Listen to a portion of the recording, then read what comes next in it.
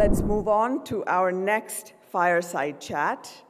And I'd like to welcome for this fireside chat between Deborah and Sandeep Singhal, the co-founder and managing director of Westbridge Capital, Sandeep Singhal. Westbridge is a private equity firm that has invested billions in the most dynamic startups in India. They are an investor in Lead, PhysicsWallah, Adda247, and others in the edtech sector. Sandeep mentioned that his investment philosophy is to take large and bold positions in companies that deliver impactful solutions for the masses. Please join me in welcoming Sandeep Singhal and Deborah Quazzo.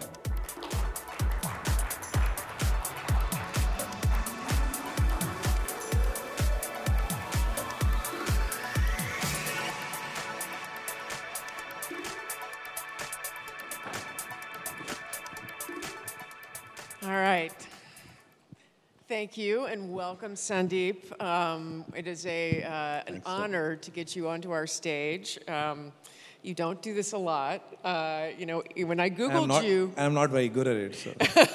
well, I Googled you. You're very hard, to, you're, you're very elusive. So I, am very appreciative of you being here today. Um, in founding Westbridge, uh, you and your US partner, uh, Sumir, who I, I met earlier and many years ago, um, have really built, as many folks in this room know, the, the absolute gold standard of in India investment firms. It's been over 20 years. It's come in different formats, Westbridge, Sequoia, back to Westbridge. Um, and, you, and you manage over $5.6 billion in 120 plus companies. Um, your growth aperture is very broad. It's not just ed tech, uh, all across India and Southeast Asia. Uh, but you do have a very tight focus on Indian entrepreneurs. Uh, you've experienced, I think it's fascinating because of your, your trajectory is that you've experienced a whole series over 20 years of revolutions effectively in the Indian um, ecosystem, uh, many ecosystems actually, from Jio to Aadhaar to you name it, um, where we are today. I'd love to just hear kind of your reflections on your core thesis when you and Sumir started 20 years ago, how that's evolved, and kind of where you sit with that core thesis today. Yeah, no, well, thank you, Deborah, and such a wonderfully organized conference and, you know, on, on, a, on a topic that is critical. Um, I think most starts are somewhat accidental. Um, you know, back in the year 2000, I still remember that I read a news article which said that the FDI in China was 30 billion, and India that year was less than a billion. And um, you know, I was at BCG uh, in those days, and it, it sort of occurred to me that in the next 20 odd years, okay, we may not reach where China is, but we'll still be 10, 15, 20 billion dollars of FDI. And then sort of, you know, who's going to think about the capital allocation issues? And something as simple as that sort of motivated to start thinking in that direction and then, you know, connected with Sumir and others. Um, and that's how really the start was. And frankly, there wasn't any ambition or there wasn't any, you know, really a looking glass as to, you know, what will come. It's just like, you know, I, I felt like it's going to be interesting to help and work with young entrepreneurs and build something, uh, you know, um, and I'm a little bit, you know, right now tongue-tied because, you know, those years were very slow years. You know, it was our, our economy was 0.5 trillion in the year 2000, you know, the full country's economy. And it wasn't sort of, sort of this, this sort of, you know, confidence that we have today that, look, yeah, it's only a matter of time. We had no idea where things will go, but it still seemed like, you know, some of the confidence at that point of time, the only, the only people to look around was people like Nandan Nilekani, who's here, and, you know, you're going to hear, him probably later. Uh, and and they were such wonderful role models. It sort of felt great to feel, okay, there's going to be other things like that. And that was really the start. Very, very sort of organic, some one step in some direction, not, not some big ambitions. And as you sit here today, a very different moment. Um, looking, you know, you've just surpassed, India's just surpassed China in terms of population. How, how, how are you all thinking about your broad thesis, you know, for the you, are a very long-term thinker as well. So what do you think about the broad thesis for the next decade or so? Yeah, I think if you think about it very simply, you know, I think in the 20 year prior to 2000, India added maybe 0.2 trillion. of mm-hmm. GDP, 0.2. Right. In the last 20 years, India added 2 trillion, from 0.2 to 2 trillion. In the next 20, India will add maybe about 6 to 7 trillion. Mm-hmm. Uh, so whatever happened in the last 20 years is going to happen at three times the size in the next 20 years. Um, that's all you need to know, and then rest of it is just focus on, you Right. know, Finding great exactly. founders. Exactly. It's interesting. I was actually talking to somebody about this yesterday, but um, who was talking generally about the education investing landscape. And, and actually, in my view, West, Westbridge is really you don't you didn't intend it this way, but um, the preeminent education and skills investor in the country. Um, you've ta- you were early uh, in TutorVista, companies like TutorVista, where you sort of got your you, you dabbled and got your uh, feet wet early. Um, you know, probably you know probably too early, but uh, but you have to do that to kind of get become informed. And now you actually cover what we what we call the pre-K to gray landscape. You've got you know, everything from lead school in the K-12 space up through uh, you know Adda 247 in the skills space and everything in between with Physics Wallah that we an investment that we share, um, Vedantu, Sunstone, et cetera. So love to hear how education evolved as such a big focus for you all. Um, you know, what's made it attractive as an investment category, and kind of what do you see?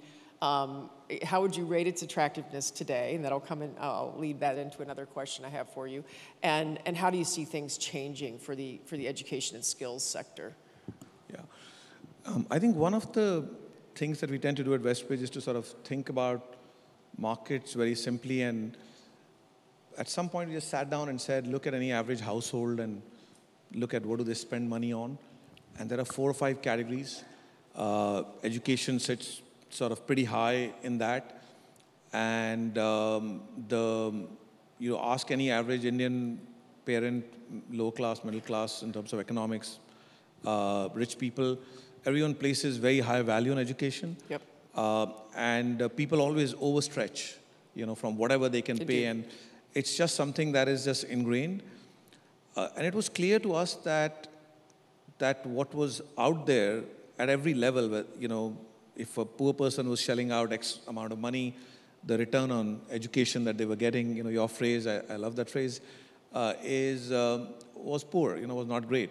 And so was true for middle classes, and so was true for rich people. So everywhere the, the education system was broken, and uh, there was no hope to sort of repair it because you know you need the number of teachers or the kind of things that we needed just seemed like not going to happen in short period of time. It's only when the power of internet truly showed up, uh, it seemed like that the order of that problem will reduce by you know from 10 to 1 uh, just because of the digital tools. You know, so you needed X number of teachers. You'll probably need now X number of great teachers. You can, you will still need those teachers, but you, you can divide them into truly inspirational great teachers and other teachers who help them. Um, um, the sort of richness reach compromise that was just so evident that you know if you have good education, it is available only to a few people. Will only be broken by uh, by tech, and and that's where it started. And then we were we are bottoms up uh, you know, investors. We kept looking at companies. There were a bunch of companies that were scaling quite rapidly, but they were all focused on sort of the rich, you know, people like, well, rich is the wrong word, but like pros- people who have high economic paying power. While the mass, India is about that mass, and it's, it's there where both the promise is broken the most and the value of solving that problem to the end customer is just phenomenal. So we decided at some point that we're going to bypass the sort of, you know, Yep. people like us, and we're going to focus on, I always say this, that I'm going to focus on my driver's children. And that's, that's sort of what led to And- everything. And, when you all did that, I think part of the issue was cons- for why the focus has been at the top of the pyramid is concern about monetization in the middle and, and, by, and how did you all kind of get beyond that issue to get comfortable? Right. Um, Right. yeah. Yeah, so, I- and you know, it wasn't very clear at the beginning um, how that will pan out, but then, you know, people come around, you know, Sumeet and Smita in the audience lead school, and, you know, Alakh and, uh, uh, you know, uh, Ashish and, um, um, you know, all, all of the guys who were, um, you know, they came and showed us that if done rightly, the power of internet will basically bring down the cost of delivery quite significantly. And that is what will allow you to, you know, it's a little bit like we didn't have phone service in India 25 years ago. It's only when mobile phone came right. that it became ubiquitous and you know, the cost of delivery became very low. And similar things showed up in education, but basically entrepreneurs showed us that it can be done and we just followed their lead.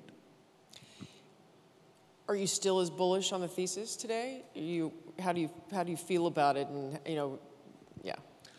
I, I, look, I think there's, well, that education is the most important subject in a family in India at all levels. It's only going to strengthen. It's not going to get weakened. That's for sure. So it's something for which an average householder will take loan, will sort of go long on it and sort of invest in their future generation. Education is obvious. Um, we are probably in, I don't know, second inning of a 20 inning game. So I think it's just now, yeah, now we have to all be thoughtful and careful and see how things change. But it's still very early, is how I would think about it. And we agree. I mean, I think it's been it's been interesting. It's even some of the conversations I've had with media and things here over the last couple of days is, you know, there's obviously a lot of negative, you know, negativity out there. The market's obviously, you know, the, the, the whatever the winter, the funding winter that we're in. You all are flush with capital, so you do not, you know, you are in a position where um, for the entrepreneurs out there. Uh, Westbridge, if you've got, if you've got a, if you're focused on the middle and bottom of the pyramid, or Westbridge is flush with capital. Um, so you, you believe, I mean, make a comment, I mean, if you could comment just on that, because I think the tone is excessively negative, at least in, in our view. And I'd just be curious for your thoughts on, on yeah. what's happened and, and in, the, in the broader economic climate, the capital markets climate, and what that's meant for founders and what that means for the sector and yeah. et cetera. No, I think, I mean, uh, nothing new. I think all of us know that, you know, the next day after parties, normally sort of, you know, fasting and sort of, you know, uh, in India we call it nimbu pani and sort of, you know, recover. So I think there is going to be a period in which all of us have to sort of look at what has happened in the last right. uh, three or four years. But there's no doubt that uh, um, from what has happened in the last two or three years, uh, the lessons will go into building things that are stronger, uh, more capital efficient, more thoughtful. The excessive, unreasonable competition will go out. The customer is smarter. The investors are smarter. Uh, so I think next innings will be a, a better game overall. Uh, it's just that everyone has to absorb what has happened in the last few years and and take lessons from them, and then sort of you know there's going to be a good party soon again. There will be another party. I'm old enough to know there will be another party. This is so. sixth, sixth party in 22 years, so I can, I can yeah. promise that there will be another one. But I think the key is, the key is, well, party is probably a word that uh, sort of presents a different picture. The key is that uh, there, let's call a spade a spade. There was a lot of excess in the last two or three years. And uh, as long as one faces the facts, and all of us were in that party, it's not like sort of, you know, some of us were, all of us were there. As long as we uh, take a recognition and make amends and sort of, you know, focus back on the 1.5 billion Indians that sort of, you know, are wanting us to solve their problems, it's going to be back again. I agree completely. And because you are a bottoms-up investor, are there is there something in the sort of pre-K to gray space at this point that you all are looking for? yeah, well, you know, theoretically we have covered these spaces, but in reality, um, you know, there's the thing about India is that there's so many micro markets within India. Right. I mean, what you know, the number of people who live in India is I don't know, maybe 2x of the US and Europe together or something like yeah. that. So there's so many different income populations, there's so many different, there's so many different flavors. So I think in the same broad things, K-12, college education, post-college jobs, and skills, there's going to be multiple different things that are being done. And, you know, our shop is open every day. We meet new entrepreneurs. And um, I'm sure we'll find many more things to do. And you're and you don't. I mean, you're very flex. You you all, you all really invest across B to you know all models, right? B to B, B to C. I mean, there's really no you're that you're neutral to to makeup, correct? Uh, neutral to to business model. Right. So, B2B, B2C, yeah, yeah, yeah, yeah, yeah. For us, uh, we are we are very neutral. It just has to be something. One of the things that you know, I, I don't think Nandan is in the room, but one thing he taught me once, I was asking him how does he make decisions in his life, and he said, I only do things that are relevant to population, means they're relevant to every house. So as long as the company that we are working with, this is more me for my personal time, but as long as the company that I'm working with is solving something that's relevant to a large number of individuals, like pretty much every household.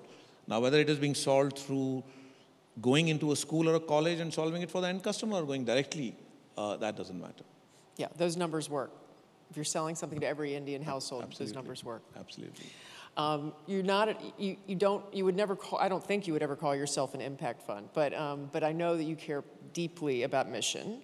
Um, your education portfolio actually reflects impact from our perspective. We, you know, we are an impact fund and we at least share two investments, and I wish we, we shared a couple more.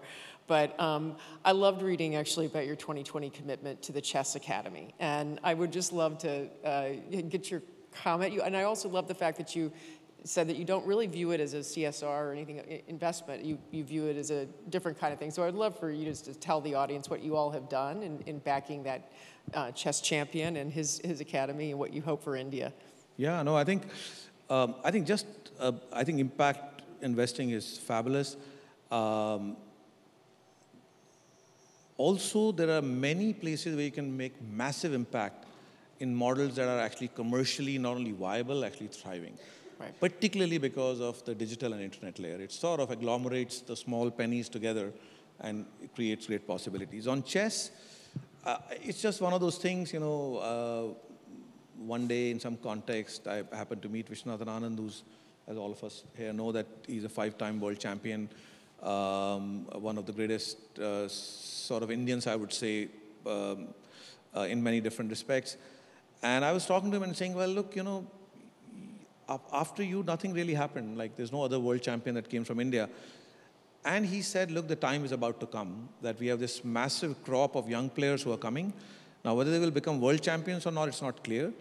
But with actually internet, the spread of chess in this country has become so far and wide, and he expects that in the next few years, uh, there's going to be a lot of interesting crop of young, uh, talented uh, guys who come up, will come up. So now I have seen this thing in the U.S. called the spelling bee, and I've always wondered, you know, why is it Talked that about that earlier? Yeah. Why is it that like eight or nine out of ten kids are from India?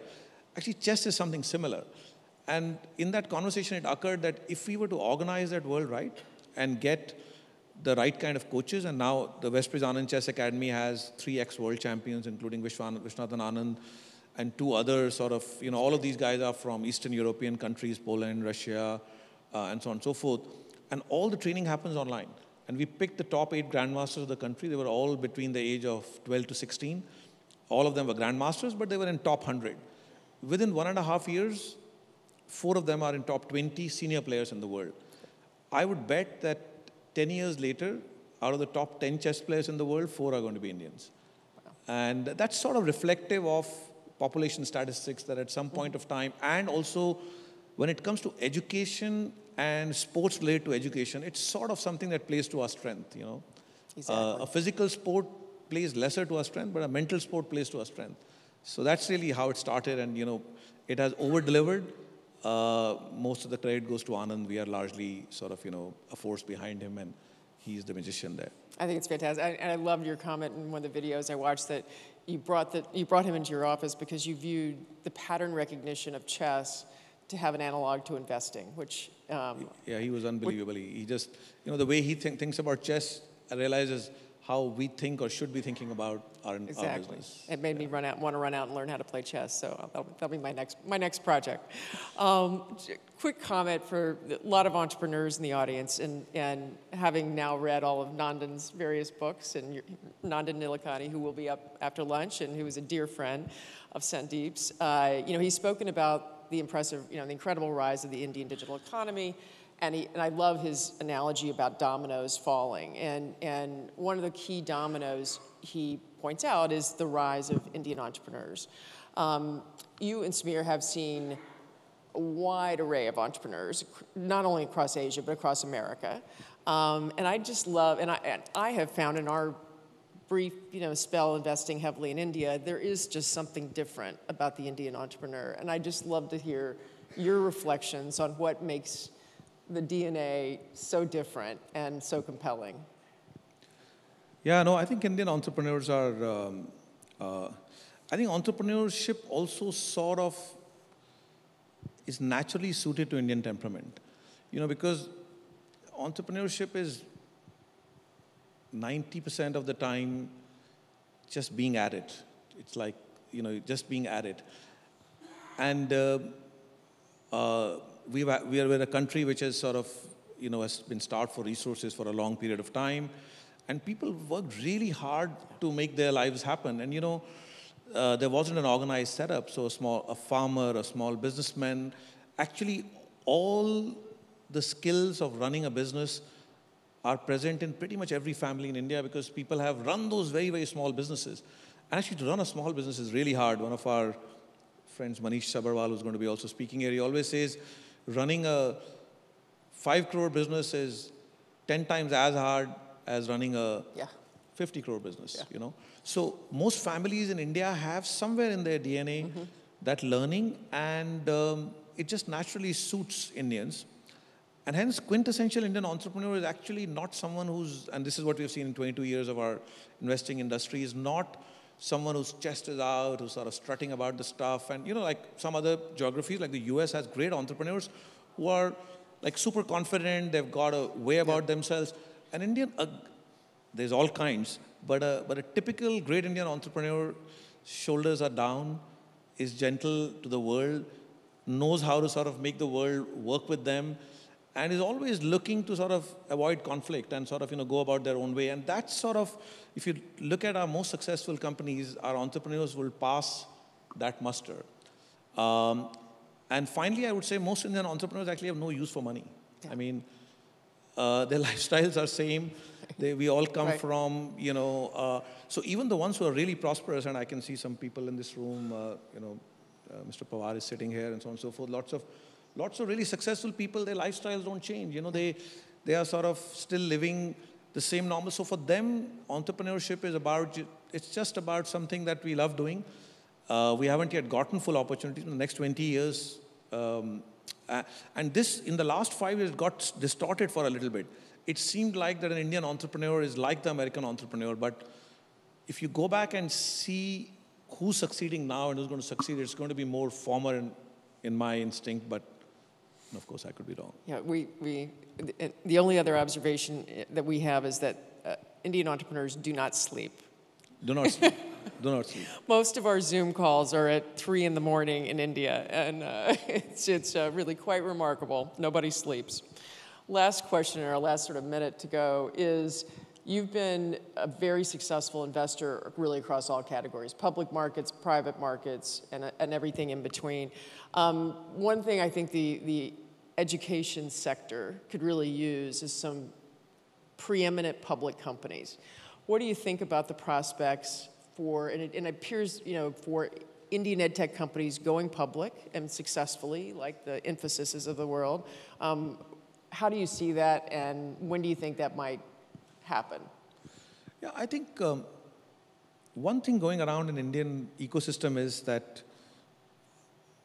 that IPO is or going public is a solution to ills of the business. You know, like I, hear a lot of, and that's not true. I, I, I hear I hear a lot of my friends who are who are sort of you know whose business has not found the model. They're not you know the economics is not yet right, and and they'll tell me next year they're going public and you know I, I don't say anything but I, I know that they're going to double their troubles by doing that yep. Uh, so first thing is that all companies must wait patiently to get to a point where their business is more predictable where their economic model is found and you know they have actually reasonable amount of healthy profits largely speaking of course if you are a tech driven company that has got a lot of spend in r&d and there's some magic sort of you know j curve in india we have less of those companies right. So all edtech companies must wait, get to a place where they have healthy, predictable business model and profits, and then go public. Because uh, otherwise, for, for an average public investor to sort of invest in a company that is likely to become profitable, so I think wait for profitability. And uh, my general advice is that until you have like a 100 to 200 crores of profit, now, for some companies, that may happen fast, and as you and I know, we, we know mm-hmm. some companies one, together shareholders. We have one of those, yeah. Right? They can, they can go public, but you know, there's no doubt that five, seven, ten years later, you're going to have three or four or five very good uh, education-focused public companies, and you know, it's going to be one of the sectors.